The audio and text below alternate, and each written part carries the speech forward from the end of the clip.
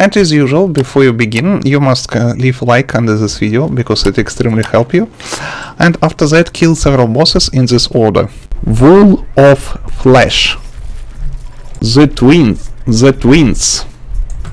Skeletron Prime. Destroyer. Plantera. After that, good time to return in the dungeon, of course, and kill Skeletron boss.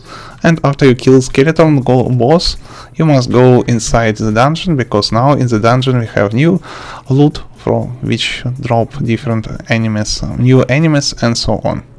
It is a long story to find right enemy, so I show you from my encyclopedia.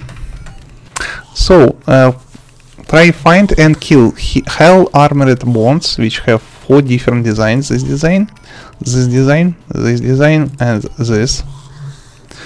Also Blue Armored Bones, also good option. And I believe this, yes. And also Rusty Armored Bones also in several different designs. All these guys can drop this uh, Keybrand with small chance 0.05 percent so it is very small chance but it is worth it I believe I hope okay after that uh, use K-Bint Keybrand. Oh.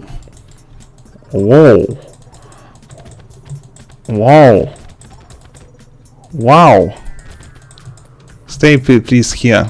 It is so amazing uh, animation seriously guys. Look at this Thank for watching, recommend subscribe in the video description. You find tons of other different video about different content which you can also find uh, for warrior.